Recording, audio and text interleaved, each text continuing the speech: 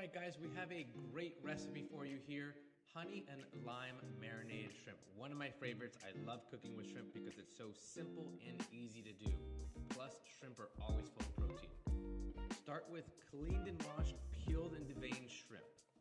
Make the marinade by adding all the ingredients together, good quality olive oil, honey, ginger, a little sweet paprika, garlic, and of course, lime juice. After marinating for about 30 to hot pan ready with a little olive oil. Season those shrimp with a little salt and pepper. Lay them down flat and then flip halfway. It only takes about a minute or two for each side.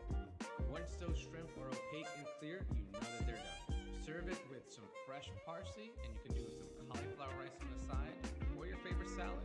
Again, this recipe is simple to do and has tons of flavor.